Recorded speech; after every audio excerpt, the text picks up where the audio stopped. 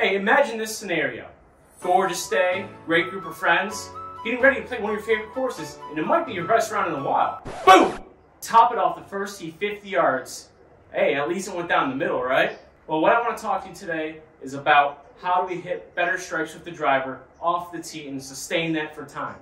We remove this ball from the tee, and all we're going to talk about is actually just hitting this tee in general.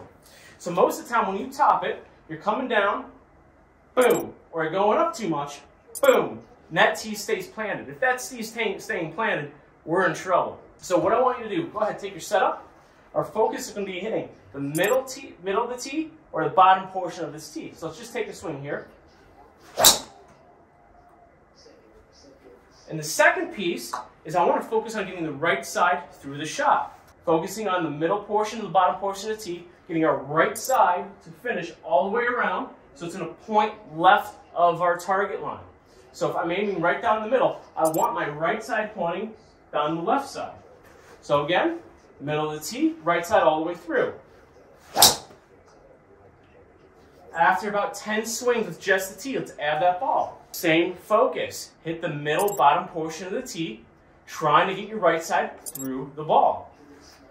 Right, setting up to the ball, hit middle bottom portion, right side all the way through. All right, right down the middle. I hit it right in the middle of the face. So, what I want you to focus on is hitting the middle to the bottom portion of the tee, and then if you're still struggling a little bit, make sure your right side gets all the way through. If you like this video, go ahead and like and subscribe. Hope to hear from you again soon.